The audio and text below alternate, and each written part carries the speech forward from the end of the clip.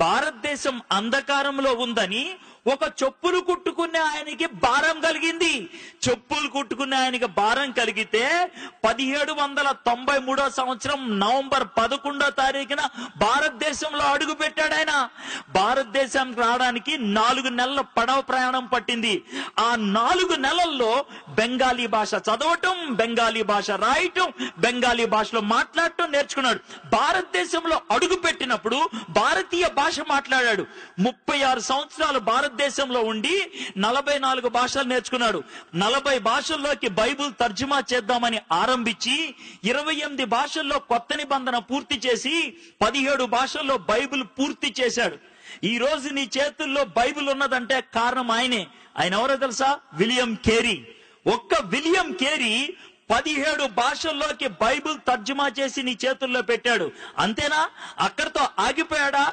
నీ చేతుల్లో పెన్ ఉందంటే కారణం విలియం కేరీ. భారతదేశంలో మొట్టమొదటిసారిగా ఇంక్ తయారు చేసింది ఆయనే. జిందగీలో రైలు బండి ఎక్కినామంటే కారణం విలియం కేరీ. భారతదేశంలో మొట్టమొదటిసారిగా స్టీమ్ ఇంజన్ పెట్టింది ఆయనే. బ్యాంక్లో పైసలు పెట్టినావా? కారణం విలియం కేరీ. భారతదేశంలో మొట్టమొదటిసారిగా బ్యాంక్ పెట్టింది ఆయనే. పొద్దున్నే లేచి ఈనాడు జై తెలంగాణ న్యూస్ పేపర్ చదివినావా?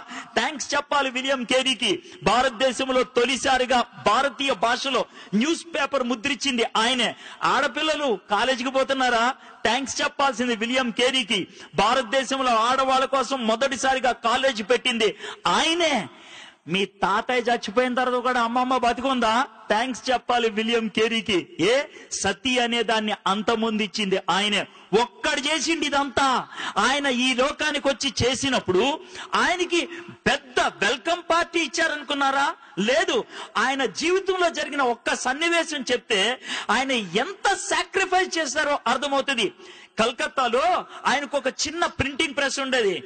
రెండు వందల ముప్పై ఆరు పేజీలు బెంగాలీ డిక్షనరీని ఆ రోజే ముద్రించి కట్ల కట్లగా నిలబెట్టి మిగిలిన పేజీలు ముద్రిద్దాం అనుకునే లోపల ఇంటి దగ్గర నుంచి ఒక పనోడు పరిగెట్టుకుంటా వచ్చాడు. వచ్చి సార్ మీ భార్యకి పిచ్చి ఎక్కిందంట. ఎందుకు ఎక్కిందో తెలుసా భార్యకి పిచ్చి? వాళ్ళ కొడుకు చచ్చిపోయాడు. కొడుకు చచ్చిపోయినప్పుడు పాతి పెట్టడానికి ఎవరు రాకపోతే విలియం కేరీ ఒక్కడే శవాన్ని తీసుకెళ్ళి పాతి పెట్టొచ్చాడు.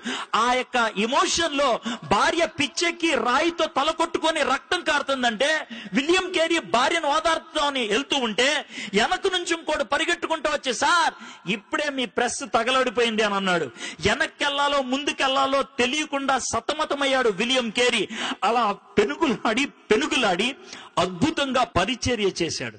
ఆ విధంగా పెనుగులాడే వాళ్ళు ఉండి పరిచర్య చేశారు కాబట్టి ఈ దినాన్న కుర్చీల మీద కూర్చొని లైటుల కింద ఈ విధంగా వాక్యాన్ని వినడానికి అవకాశం దొరికింది. అది ఉచితంగా రాలా!